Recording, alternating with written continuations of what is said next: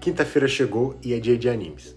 Vamos explorar o universo das animações japonesas. O mangá Batuque de Toshio Sako está próximo do seu término, com apenas dois capítulos restantes, conforme anunciado no capítulo de número 155. A série, que teve início em 2018 e hoje é publicada no site Tonari no Young Jump, conta com 16 volumes. A trama acompanha Ichiri Sanjo, que, após ser salvo por um morador de rua, decide seguir os passos dele em busca de liberdade no mundo da capoeira. O desfecho da história se concretizará nos últimos dois capítulos, programados para serem lançados por volta da metade de janeiro.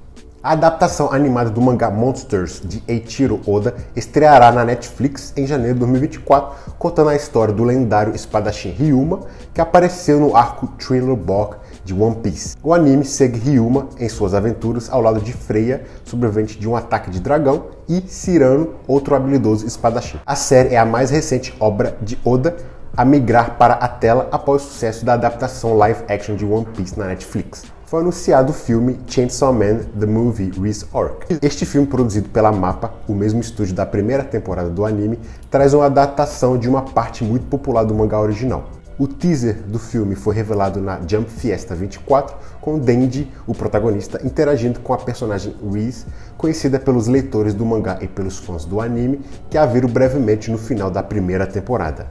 A Sato Company anunciou a exibição nos cinemas brasileiros de O Menino e a Garça, o mais recente filme do estúdio Ghibli. Com previsão de chegada até o início de março, antes do Oscar 2024, o filme é uma obra original de Hayao Miyazaki. A trama segue Marito, que após perder a mãe na Segunda Guerra Mundial, muda-se para o interior com o pai e a irmã da falecida mãe, que está grávida e agora é a nova esposa do seu pai. Enquanto tenta se adaptar, Marito encontra uma garça falante e parte para um mundo diferente com a promessa de reencontrar sua mãe.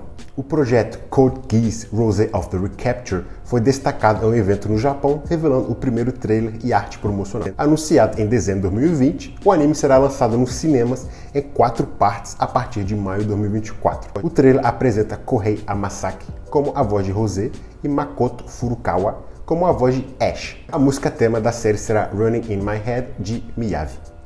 E aqui encerramos nossa quinta-feira de animes. Se como eu você é um otaku, deixa seu like inscreva-se para não perder nenhum episódio. Pegou a referência?